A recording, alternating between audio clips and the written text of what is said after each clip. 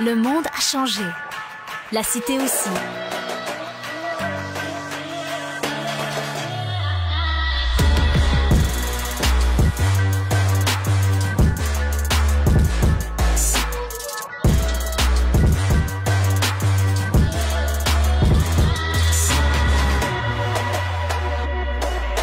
Le Collège La Cité. Prêt pour demain. Bonjour tout le monde, euh, j'espère que vous allez bien ainsi que vos proches. Euh, bienvenue à notre Facebook Live. Euh, je m'appelle Albert Kayumba, je suis agent de liaison au secteur de recrutement au Collège La Cité et c'est un plaisir pour, pour moi d'être avec vous. J'ai l'honneur aussi d'être avec Madame Lynn Racine, coordonnatrice de notre programme de tourisme. Donc, on va vous parler de ce programme. bonjour Lynn. Bonjour, bonjour Albert, ça va bien? Ça, va très bien, merci. Est-ce que ça va bien aussi? Oui, ça va super bien, merci. Excellent. Euh, donc, euh, je remercie à ceux et celles qui sont avec nous. Euh, nous allons vous parler du programme de tourisme et je profite de cette occasion pour vous encourager à poser des questions. Nous avons des collègues qui sont avec nous, qui vont répondre à toutes les questions. Puis nous aussi, à la fin même de ce webinaire, vous pouvez toujours communiquer avec nous, que ce soit par courriel ou par téléphone ou via la page du programme. Donc, ça nous fait le plaisir de, euh, de vous donner toutes les informations. Donc, on va, euh, on va commencer. Donc, je vais en profiter pour poser des questions concernant le programme de tourisme. Euh, peux-tu nous faire un survol du programme de tourisme? Qu'est-ce que nos étudiants et étudiantes apprennent dans ce programme? Bon, on commence, on apprend beaucoup de choses. quelques petites choses que je peux vous dire en général, là, euh, vous allez apprendre sur les principaux attraits touristiques, que ce soit régional, national, international. Donc, super intéressant. Euh, on va faire aussi un survol de l'hébergement, de la restauration, des loisirs, euh, différentes cultures. aussi les transporteurs, quand on parle de transporteurs, soit les avions, les trains, les bateaux, voitures de location, ainsi de suite. Donc, beaucoup, beaucoup d'informations sur ce côté-là. On va aussi apprendre euh, des composantes d'un événement. Vous allez faire la planification aussi euh, d'un événement, que ce soit du côté marketing et financière.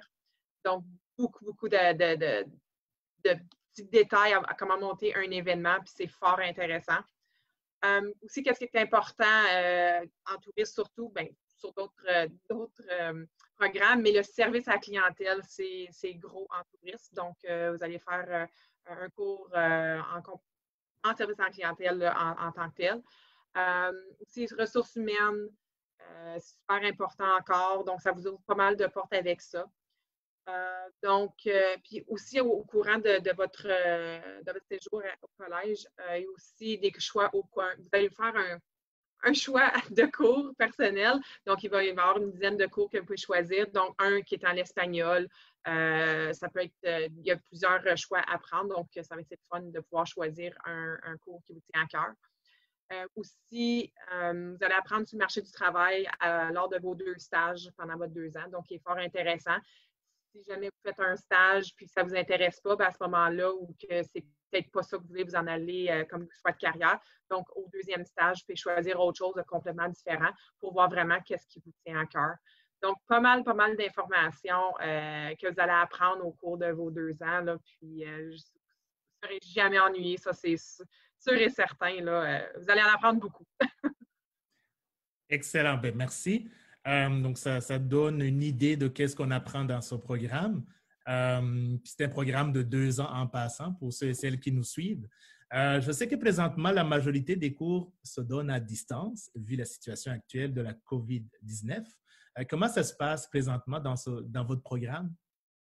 Euh, pour l'instant, ça va super bien. Tous nos cours sont à 100% à distance. C'est sûr que lors des stages, ça va être un peu différent. Là, ça va être en présentiel chez les employeurs. Mais ça va super bien. On est comme ça depuis avril 2020. Donc, ça a super bien été aussi. On a réadapté nos cours. Donc, euh, en général, euh, les étudiants sont contents. Euh, ça va bien. je ne peux pas dire que autre, chose que ça. Ça va très bien. Excellent. Donc, vous avez pu vous adapter, mais aussi des étudiants ont pu s'adapter aussi à la situation. J'ai déjà parlé des stages, des stages qui sont inclus dans le programme, donc c'est très intéressant. si j'ai bien compris, il y a deux stages dans, dans, le programme? Oui, il y a deux stages, un à l'étape 2 et le dernier à l'étape 4. donc, à l'étape 2, on a déjà préétabli, c'est sur deux jours semaine, donc 15 heures en entreprise, donc dépendant de l'horaire. Et puis, les étudiants vont être capables de choisir un stage qui, leur semble intéressant ou qui leur tient à cœur ou qui peut-être qu'ils ont déjà le choix de carrière prévu.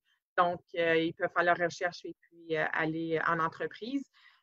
aussi, pour le, stage à l'étape 4, c'est pas encore, on n'est pas rendu parce qu'il y a eu le nouveau euh, le virage qu'on appelle les, les, tous les cours en tourisme ont un peu changé. Donc, euh, on établit en ce moment probablement un, deux, euh, deux trois jours en entreprise là, qui peut être encore intéressant. Donc, vraiment acquérir de l'expérience, c'est numéro un là, pour votre carrière future. très important, très intéressant. Ça permet d'acquérir l'expérience et d'être en contact avec des employeurs aussi. Oui, puis peut-être que ça va ouvrir des portes pour une job future, on ne sait jamais ils peuvent vous garder. c'est très intéressant. Euh, par curiosité aussi, nos diplômés, euh, c'est un programme de deux ans, donc à la fin de leur formation, euh, les étudiants vont obtenir un diplôme d'études collégiales dans l'Ontario. Est-ce qu'ils doivent avoir aussi une certification pour pouvoir travailler dans leur domaine? tout dépendant de ce qu'ils veulent faire par la suite. donc, dans le fond, s'ils veulent devenir agent de voyage, par contre, donc, à ce moment-là, il y aurait l'examen de TICO, donc euh, de l'Institut canadien des conseillers en voyage, qui est offert à la Cité. Donc, on s'occupe de tout. Euh, les étudiants ils ont juste besoin de s'occuper d'étudier puis de se présenter et faire l'examen. Donc, s'il y en a qui veulent être agents de voyage, donc c'est euh, recommandé de le faire et puis au moins ça vous ouvre des portes. Si jamais vous ne voulez pas le faire, au moins plus tard, oh, je m'en vais travailler en agence, c'est déjà fait. Donc, donc, ça, c'est un atout euh, avec le programme. Je comprends. Donc, c'est, oui, une certification, c'est un atout. Euh, est-ce que nos diplômés peuvent travailler euh, partout au Canada? Et j'aimerais aussi que tu nous parles peut-être des histoires à succès de nos diplômés. Oui, ben, ils peuvent, en premier temps, ils peuvent travailler n'importe où dans le monde. Donc, dans le fond, l'industrie du tourisme est vraiment grand et vaste ça l'ouvre, plusieurs, plusieurs portes. Donc, si c'est quelqu'un qui aime l'aventure, puis qui s'en va à destination, à l'international, travailler dans des hôtels, guide touristique, il y a vraiment, vraiment beaucoup de choix. Donc, c'est pas non, simplement juste rester au Canada pour travailler au Canada, malgré qu'on a un super de beau pays. Euh, on peut aller travailler à l'extérieur sans problème. Donc, pour nos étudiants qui ont le sens de l'aventure définitif, euh, moi, euh, mon cheminement, je suis une ancienne graduée du collège, donc euh, en 2004, je ne me trompe pas. j'ai changé un petit peu, je, me suis promenée dans, l'industrie du tourisme, mais j'ai toujours resté dans, mon, dans mon domaine.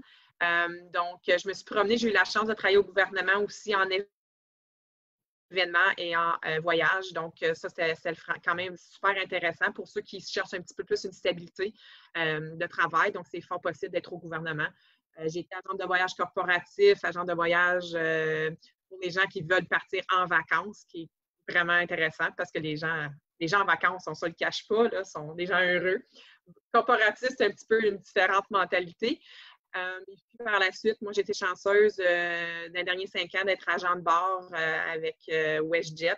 Donc, puis j'ai beaucoup d'étudiants dans les dernières années qui, qui j'ai aidé à passer au travers de ce programme-là parce que c'est sûr que tu fais, tu passes les cours de WestJet ou Air Canada ou ça peut être n'importe quel.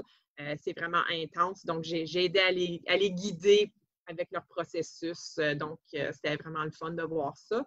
Euh, et puis, j'ai la chance, évidemment, d'enseigner au collège depuis 2014. Euh, j'adore euh, être avec les étudiants puis voir qu'on a une passion commune. Donc, c'est vraiment, vraiment le fun. Puis, cette année, ben, je suis votre coordonnatrice pour, en espérant, 2021 aussi. Donc, on ne sait jamais, là, mais on va sûrement se croiser. Si ce n'est pas en tant que cordeau, mais en, tant que prof, sûrement. wow! C'est vraiment très intéressant de d'avoir suivi un programme au collège, d'avoir de, quelle expérience et de revenir pour partager euh, son expertise, mais aussi sa passion. Je vois que tu es passionné par Ah oui. Puis, si c'est pas, c'est sûr que ça, c'est un de mes cheminements, mais vous pouvez être aller travailler dans les musées, dans les hôtels, euh, dans les euh, gîtes touristiques.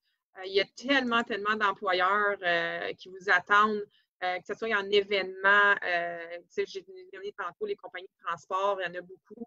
Euh, donc, il y a vraiment une, sélection de, de carrières que vous pouvez choisir là, avec le programme. Ça vous ouvre vraiment une diversité d'emplois. donc, c'est vraiment le fun. Le tourisme, c'est vraiment le fun. Ben, merci. si je reviens, ben, je sais que c'est un, bon programme, très intéressant. quel est le profil des, candidats ou des étudiants euh, du programme, étudiants et étudiantes du programme de tourisme? Euh, tu peux nous parler de, leur profil euh, selon ton expérience? Oui, c'est sûr que la plupart des étudiants qui nous arrivent viennent voyager. Ça, c'est numéro un, apprendre des nouvelles choses, des nouvelles cultures. Il y en a qui n'aiment pas prendre l'avion, puis c'est correct parce qu'on a des attraits touristiques dans le coin qui ne nécessitent pas prendre ce moyen de transport-là, on comprend. Euh, mais quelqu'un qui a le sens d'initiative, qui veut apprendre, euh, aussi en tant qu'en tourisme, on dit toujours que nos, euh, les, étudiants ciblés vont être des gens qui vont être vraiment autonomes. parce que des fois, si tu es, exemple, si tu es un guide touristique, ben à ce moment-là, faut que tu. Le sens l'organisation, c'est vraiment un numéro un. aimer travailler avec les gens, c'est super important. Euh, c'est sûr, euh, avoir, être capable d'aller approcher des gens que euh, ça ne vous fait pas peur, parce qu'il y en a qui sont vraiment timides. Donc, on essaie de développer ça au cours des deux ans pour que vous ayez cet aspect-là à la fin de votre, séjour au, collège. Mais ce n'est pas grave si vous n'avez pas toutes ces, capacités-là, ça se développe. des fois, on trouve, on trouve notre petit, je dire ça, on trouve toujours quelque chose en tourisme qui peut adapter à toutes les sortes d'étudiants, mais euh, c'est sûr qu'on va vous trouver quoi. Puis euh, si vous aimez, en partant, vous êtes quelqu'un comme ça, là, ça va bien aller. c'est ça qui est intéressant, que je trouve euh, intéressant au collège. Donc, on a des. En fait, je, parle de toi, mais aussi des, tes collègues, des, professeurs qui sont passionnés, qui sont là pour la réussite scolaire de nos étudiants. Euh, donc, il faut, vraiment bénéficier. Euh, j'encourage ceux et celles qui s'intéressent à, ce programme de, s'inscrire, euh, de nous poser beaucoup de questions. Encore une fois, vous pouvez toujours poser des questions. Ça nous fait le plaisir de vous répondre. Et en parlant de, s'inscrire au collège, peux-tu nous parler des conditions d'admission de ce programme? oui, donc une des conditions qui est la plupart pour les gens qui viennent de l'Ontario, c'est d'avoir notre diplôme d'études secondaires de l'Ontario, donc votre DSO. Euh, ou si vous avez plus que 19 ans, vous pouvez faire votre euh, équivalence euh, de réussite du test de candidat pour adultes. Donc, vous pouvez faire ça aussi pour vous, inscrire au collège.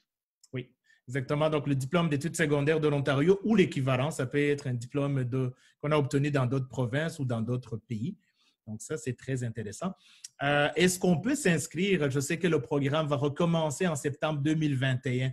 Est-ce qu'on peut s'inscrire dès maintenant? Oui, c'est possible. Donc, les, formulaires de demande d'admission sont déjà disponibles sur euh, le site Web.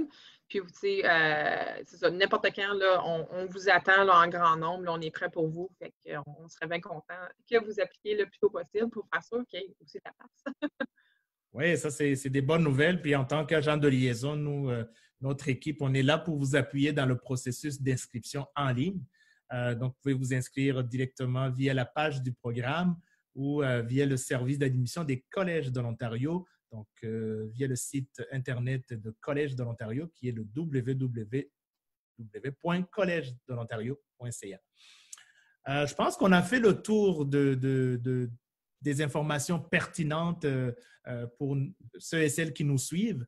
Est-ce que tu, le mot de la fin, est-ce qu'il y a d'autres informations que tu aimerais ajouter est-ce que tu, ben as déjà partagé? C'est plutôt complet. Euh, je sais peut-être que j'ai oublié des choses. On, est humain, on, des fois on oublie. Mais si vous avez des questions qu'on n'a pas touchées, vous avez euh, des informations euh, pertinentes ou n'importe quoi, vous pouvez nous rejoindre en tout temps. Ça nous va nous faire un plaisir de vous répondre à, vos questions. Puis, tu sais, des fois, on n'est pas sûr en deux choix de carrière. Puis, des fois, si on peut vous aider à, à faire le bon choix pour vous, gênez-vous pas, on est là pour ça. Parfait. Ben, merci infiniment de, ces informations que tu, nous as partagées. Euh, je rappelle encore une fois à ceux et celles qui nous suivent qu'on est là pour répondre à vos questions. Donc, n'hésitez pas à communiquer avec nous, euh, que ce soit par courriel, par téléphone, euh, via la page, du la page du programme, via le site Internet du collège aussi. Et merci, merci d'avoir pris le temps de nous suivre. Merci. Merci beaucoup. Au plaisir.